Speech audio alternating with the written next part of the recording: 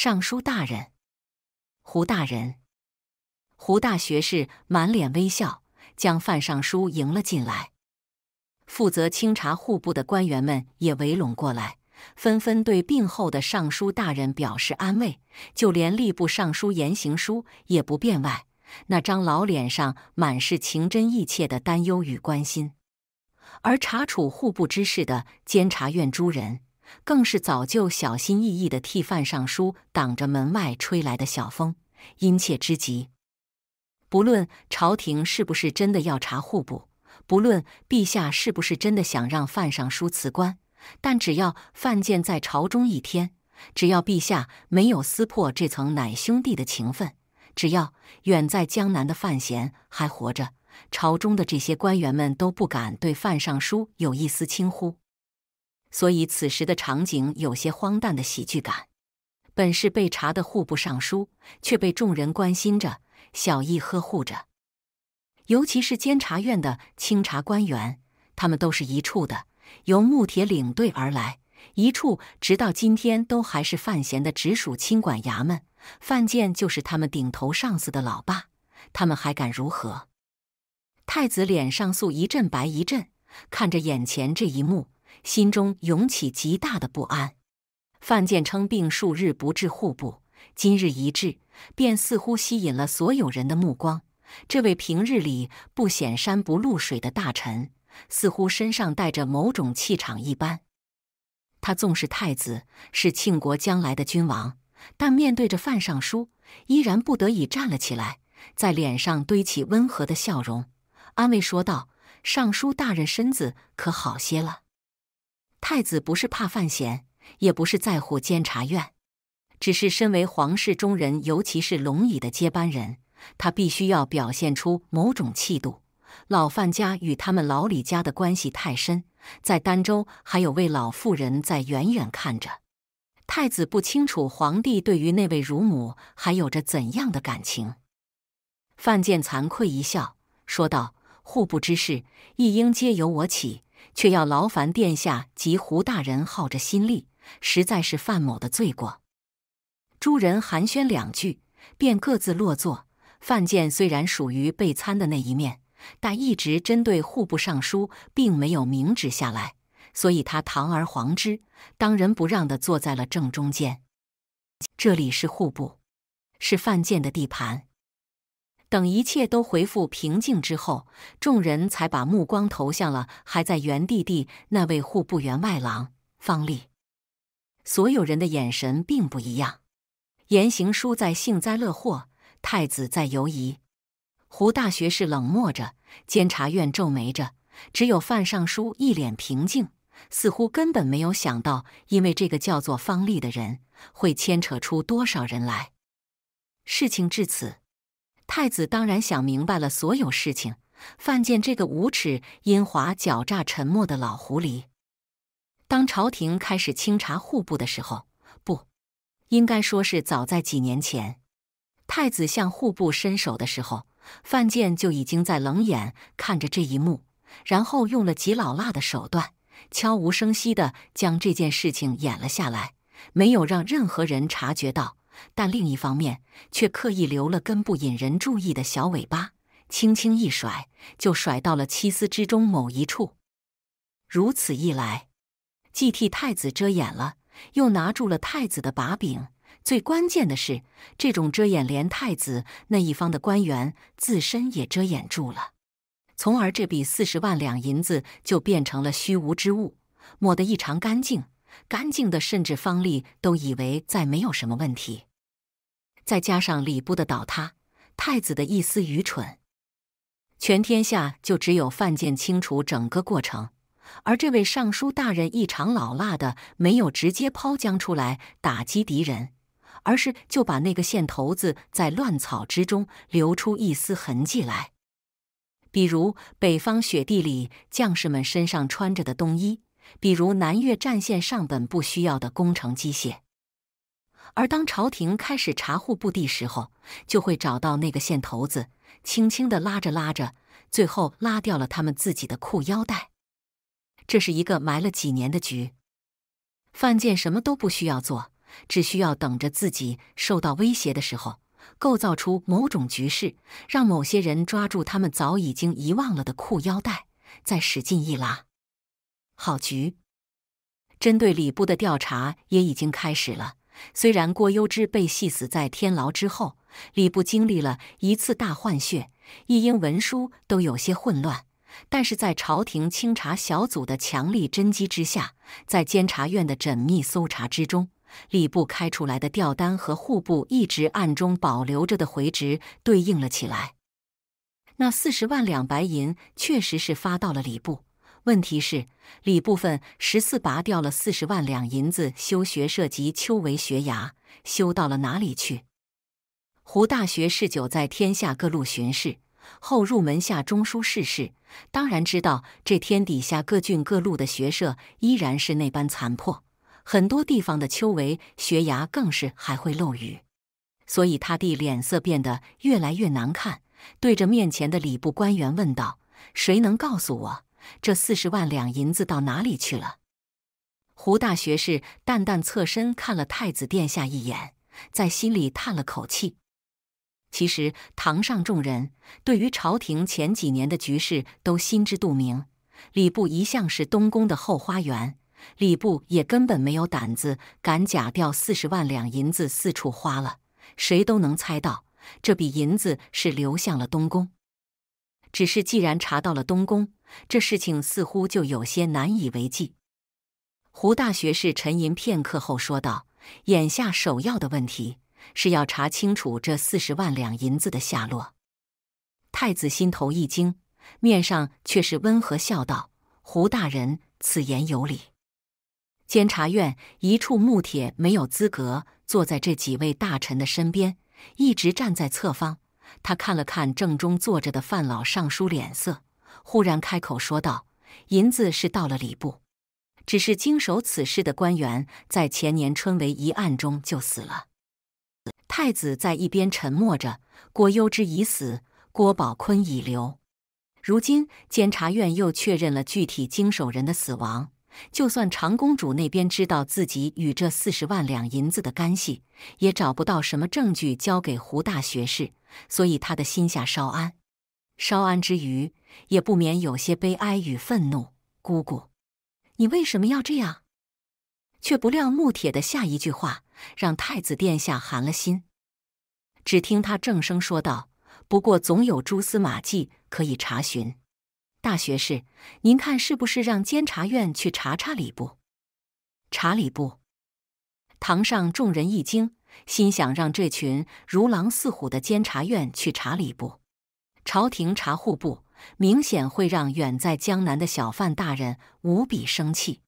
监察院查礼部，在小范大人的遥控之下，礼部那些可怜的官员，只怕真要活不出来了。可是穆铁此时的要求似乎很合理。范建清圆长须，面无表情，心里却在想着：安之的这个亲信脑袋瓜子似乎比以前要好用多了。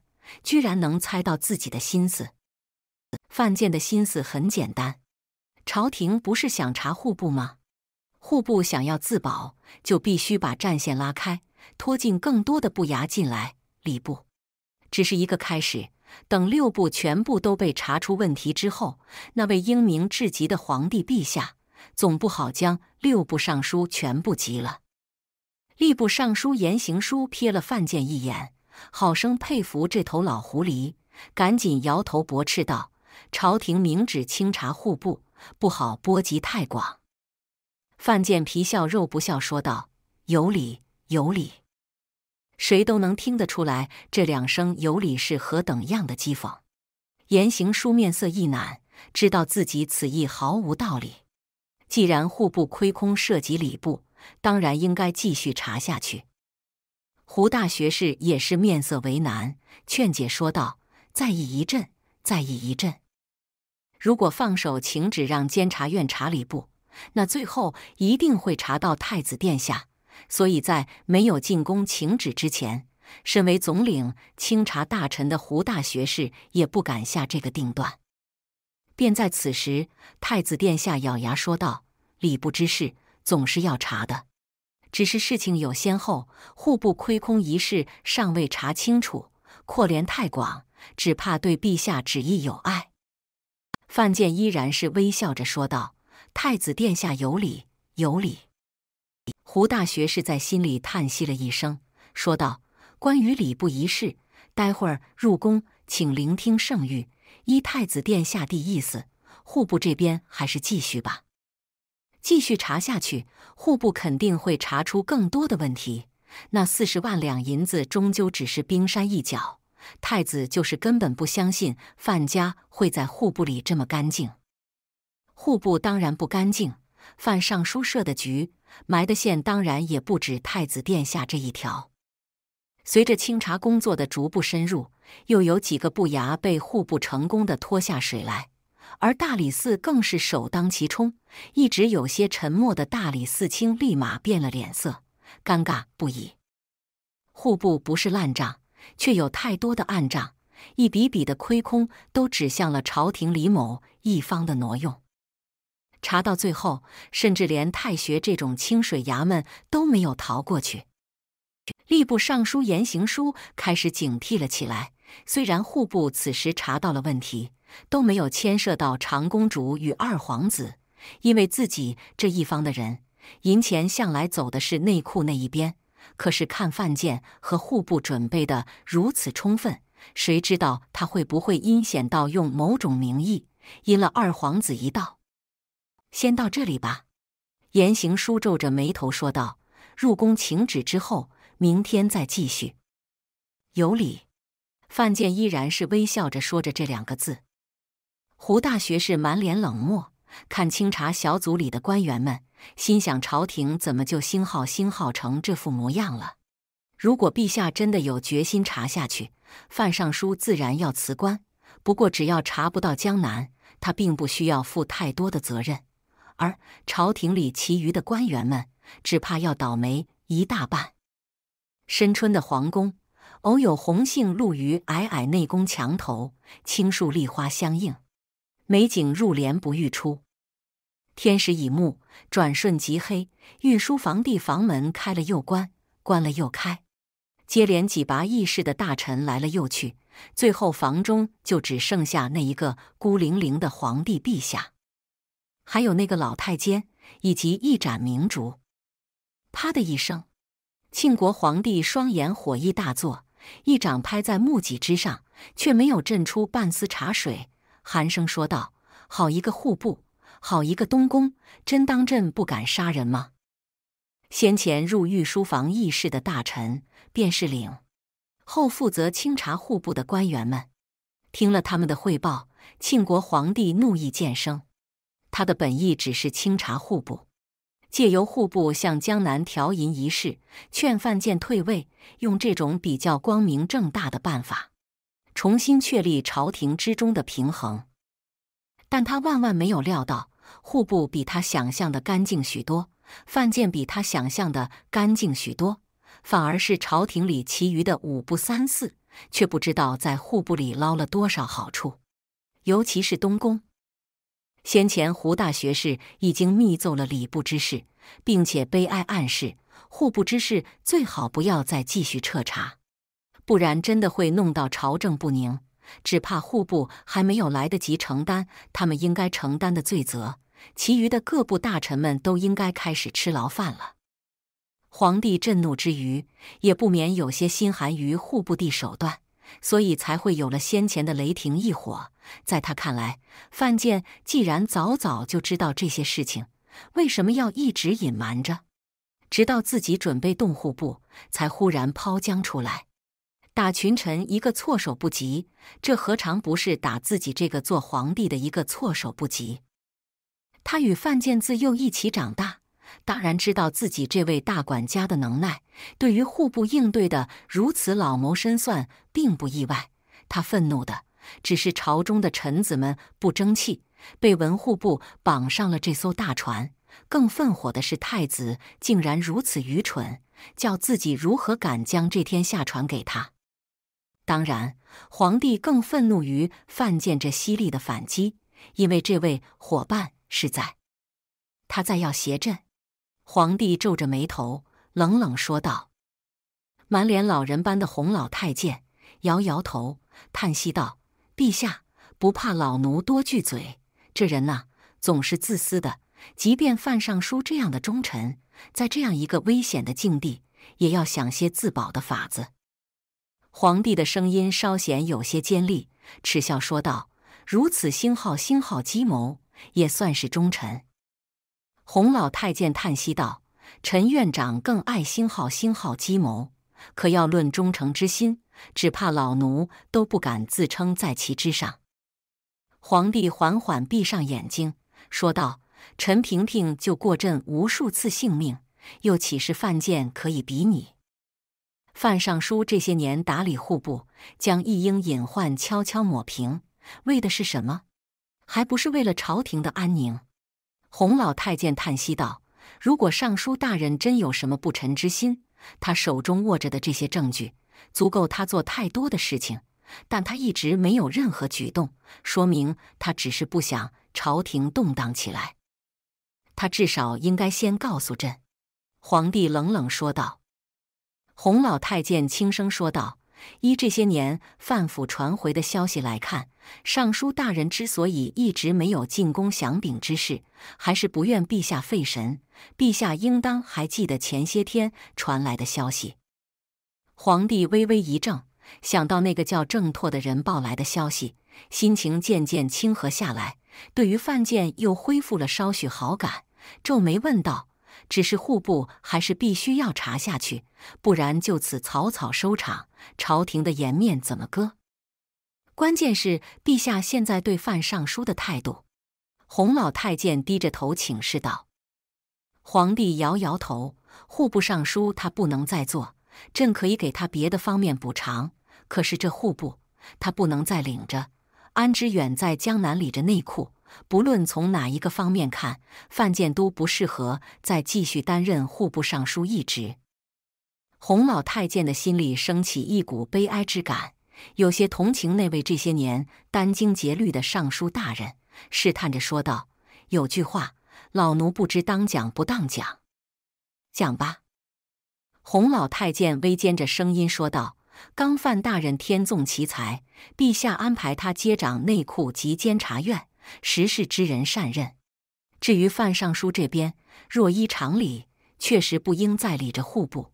可是陛下或许还记得，庆历元年的时候，就在这间御书房内，当时还是侍郎大人的范建。”便曾经陈院长大人大闹过一次，范尚书其实从骨子里就是不希望小范大人执掌监察院的。